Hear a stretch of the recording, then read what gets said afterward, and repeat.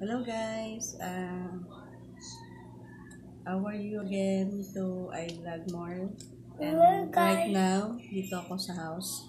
Ayan, and, my baby.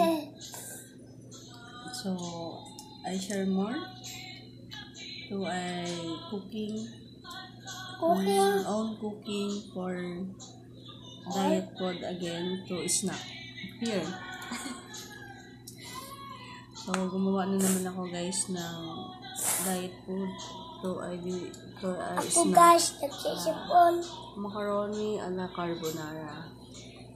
Ayan, macaroni Ah! pasta ka ala carbonara. Ayan. Ay, ito. Masarap siya guys. Ayan.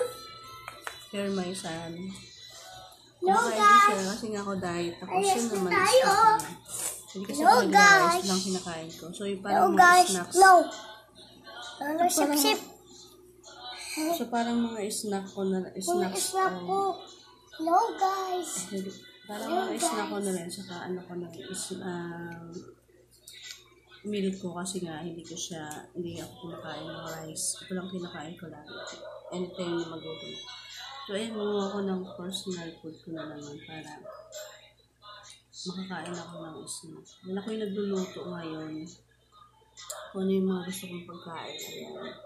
Yes. Ala carbonara macaroni. Ah, yung lasa niya parang lasang car- carbonara. But ang ginawa kong Sarap. pasta is Sarap macaroni. ay guys. So, sarap macaroni guys. ala, carbonara. So, thank you guys. I enjoy the my food right now. I share na magluto rin kayo ng foods for, for, for your diets.